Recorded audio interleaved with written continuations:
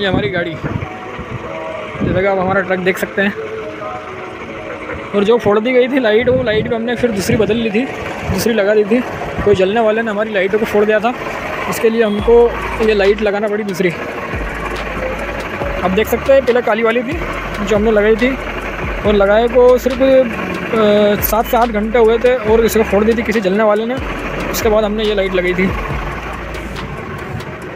ये लाइट लगाई हमने।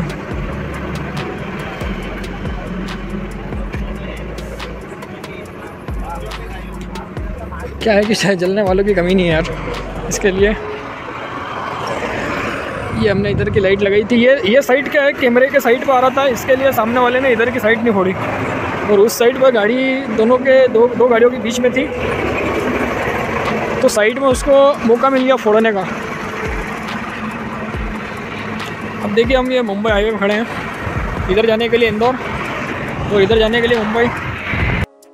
जैसा गाइस आप देख सकते हैं, हम पहुँच चुके हैं महाराष्ट्र बॉर्डर पे और यहाँ पर लगी है गाड़ियों की लंबी लाइन ये लंबी लाइन लगी हुई गाड़ियों की और ये हम आ चुके हैं महाराष्ट्र बॉर्डर ये महाराष्ट्र बॉर्डर पे और यहाँ लगी लंबी लाइन और हमारा ट्रक ये रहा। ये हमारा ट्रक है और ये लंबी लाइन है। आगे जाएगी कांटे पे कांटे पे चढ़ेगी, टोल काटा होगा। उसके बाद में आगे हमको पेपर वगैरह दिखाना पड़ेंगे आर में।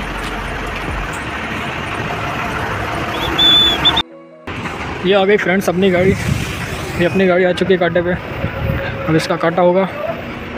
जैसा कि आप देख सकते हैं, ये है महाराष्ट्र बॉर्डर और यहाँ अपनी गाड़ी का काटा हो रहा है। काटे के पैसे दिए। अब पर्ची लेके आगे बढ़ गए। एक सौ अस्सी रुपये का खर्चा आता है यहाँ पे, महाराष्ट्र बॉर्डर पे।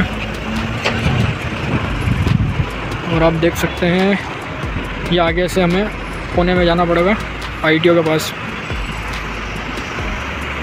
यहाँ आईटीओ के पास में जैसा कि फ्रेंड्स आप देख सकते हैं कि हम ये महाराष्ट्र बॉर्डर पर आ चुके हैं, और यहाँ का आईटीओ ने हमसे पैसे लिए हैं आरटीओ ने दो सौ जबकि हमारी एम एच इकतालीस गाड़ी थी, उसके बाद भी हमसे दो सौ लिए गए।